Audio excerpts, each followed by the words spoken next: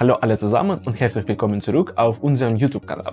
Erfahren Sie, wie Sie Daten von einem RAID Level 1 Array auf dem Netgear Ready NAS durch RND 2000 NAS wiederherstellen können, wie Sie versehentlich gelöschte Dateien aus dem Papierkorb wiederherstellen und Informationen von einem unbrauchbaren NAS abrufen können.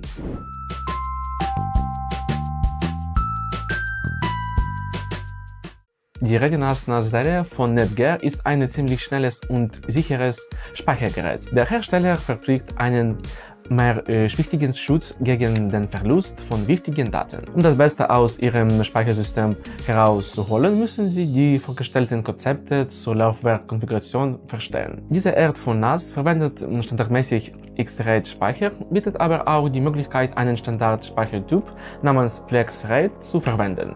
Jeder dieser Speichertypen bietet eine zuverlässige Speicherung, kann Ihre Daten jedoch nicht hundertprozentig von Verlust schützen. Im folgenden Video zeige ich Ihnen, wie Sie den Speichertyp auf diesem NAS ändern können, wie Sie versehentlich gelöschte Dateien wiederherstellen können und wie Sie Informationen von einem zerstörten RAID abrufen können. Wie ich bereits in diesem NAS erwähnt habe, verwendet Ready NAS standardmäßig X-RAID. Um zu FlexRAID zu wechseln, müssen Sie einen Werkreset durchführen und dann FlexRAID auswählen.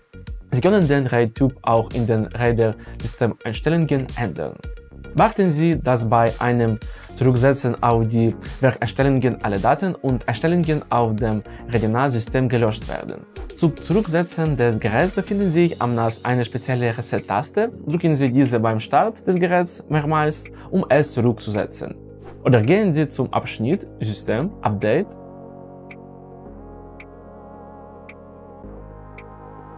Werkeinstellungen und drücken Sie die Schaltfläche Perform Factory Default.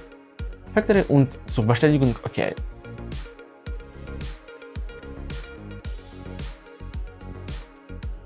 Öffnen Sie RAID R, wählen Sie Ihr NAS und klicken Sie auf Setup. Setzen Sie dann das Kontrollkästchen auf flexible Volumen und klicken Sie auf Create Volumen.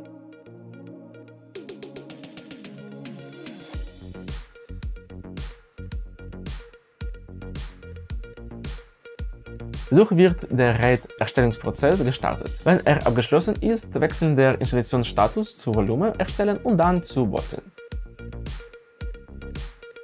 Der Vorgang war also erfolgreich und wir haben ein neues Volumen. Als nächstes konfigurieren Sie den FTP-Zugriff auf den Speicher. Um den FTP-Server zu aktivieren, gehen Sie zu Service, Standard File Protocols, markieren Sie das Kätzchen neben FTP und klicken Sie auf die Schaltfläche Apply. Als nächstes können Sie einen Netzwerkordner erstellen und Berechtigung verstellen. Öffnen Sie dazu den Bereich Freigaben, Freigaben hinzufügen, geben Sie den Namen des Netzwerkordners an und klicken Sie auf die Schaltfläche Übernehmen. Sie müssen nun die Sicherheitseinstellungen für diesen Ordner konfigurieren. Öffnen Sie Freigabeliste und klicken Sie auf FTP-Zugang-Einstellungen ändern neben dem neuen Ordner. Legen Sie die Rechte fest und klicken Sie auf die Schaltfläche Übernehmen. Zum Schutz vor versehentlichem Löschen kann die Papierkorb-Funktion auf diesem NAS aktiviert werden. Der Netgear Ready NAS Papierkorb ist eine Funktion des GIS-Protokolls Einmal aktiviert können Benutzer gelöschte Dateien auf dem Papierkorb standardmäßig bis zu 10 Tage lang wiederherstellen. Wenn die Papierkorb-Funktion und der GIFs-Zugriff aktiv ist, werden gelöschte Dateien vorübergehend im Papierkorb gespeichert und nach einer bestimmten Zeit lange endgültig gelöscht. Gelöschte Dateien können auch bei Zugriff auf eine gemeinsame Ressource über ein anderes Protokoll gelöscht werden.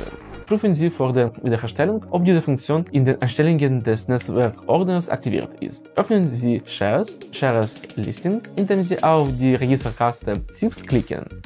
Blättern Sie auf der Seite nach unten und stellen Sie sicher, dass die Option aktiviert ist. Wenn der Papierkorb aktiviert ist, sehen Sie im Stammverzeichnis der Freigabe einen Ordner namens Papierkorb, der die gelöschten Dateien enthält. Wählen Sie die Dateien aus, die Sie wiederherstellen möchten und klicken Sie mit der rechten Maustaste darauf, um sie wiederherzustellen. Wenn der Papierkorb jedoch deaktiviert ist, verwenden Sie eine Datenwiederherstellungssoftware. Für den unwahrscheinlichen Fall, dass Sie Ihre Dateien nicht aus dem Papierkorb wiederherstellen können, da Sie keine Sicherungskopie haben oder dass Ihr Speichergerät abgestürzt ist, was zu einem RAID-Ausfall geführt hat und Sie nicht auf Ihre Daten zugreifen können, hilft Ihnen eine Datenrettungssoftware, Ihre wichtigen Daten wiederherzustellen. Laden Sie Hetman RAID Recovery herunter und installieren Sie es.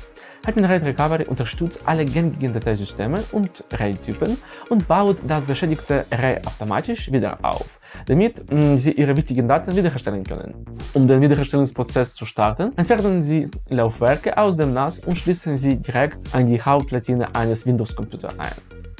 Beachten Sie, dass Sie vor Beginn der Datenwiederherstellung über freien Festplattenspeicher verfügen müssen, der der Kapazität der wiederherstellenden Daten entspricht, damit Sie die wiederhergestellten Informationen von Festplattenarray kopieren können. Wenn ein Laufwerk ausfällt, können mm, je nach RAID-Level auch einige Daten verloren gehen, die nicht wiederhergestellt werden können. Wenn Sie ein Null-RAID verwenden, gehen beim Ausfall eines Laufwerks einige Daten unwiederbringlich verloren. Tatsache ist, dass diese Art von Array durch Datenstriping leistungsorientierend ist. Das bedeutet, dass die Daten in Teilen auf die einzelnen Festplatten geschrieben werden, was eine hohe EA-Leistung bei geringen internen Kosten ermöglicht. Im Gegenzug bieten es aber keine Redundanz. In dieser Situation müssen Sie damit rechnen, dass die Daten nicht vollständig wiederhergestellt werden können. Sobald die Laufwerke geschlossen sind und das Programm gestartet wird, beginnt es automatisch mit der Scannen der Laufwerke und erstellt ein fehlerhaftes RAID. Die Details des erstellten RAID werden unten angezeigt. Um nach verlorenen Dateien zu suchen, klicken Sie mit der rechten Maustaste auf die Partition und dann auf Öffnen. Im nächsten Schritt wählen Sie die Art der Analyse, schnelle Suche oder vollständige Analyse. Falls Ihr NAS ausgefallen ist und die Software ein RAID korrekt erstellt hat, ist ein Schnellscan ausreichend. Wenn der Scan abgeschlossen ist, öffnen Sie den Ordner, in dem sich die Dateien befanden, die Sie wiederherstellen möchten. Die Software behält die Dateistruktur und Namen bei, sodass Sie keine Schwierigkeiten haben sollten, die benötigten Dateien zu finden und Sie können deren Inhalt im Vorschaufenster betrachten.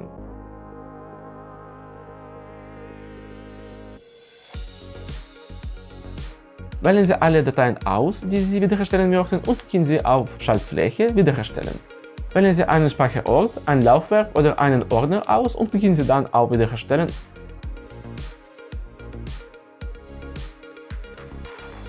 und fertig. Alle zuvor ausgewählten Dateien befinden sich nun im angegebenen Verzeichnis.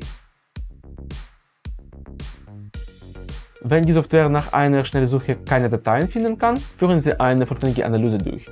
Gehen Sie dazu zurück zum Hauptmenü des Programms, klicken Sie mit der rechten Maustaste auf den Datenträger und wählen Sie Neue analysieren. Vollständige Analyse geben Sie das Dateisystem des Datenträgers an, deaktivieren Sie das Kontrollkästchen für die Inhaltssuche, um den äh, Suchvorgang zu beschleunigen. Und das war's. Ich hoffe, dieses Video war hm, für Sie nützlich. Denken Sie daran, dieses Video zu liken. Vergessen Sie nicht, unseren Kanal zu abonnieren. Stellen Sie Ihre Frage in den Kommentaren unter dem Video. Vielen Dank fürs Zuschauen. Tschüss.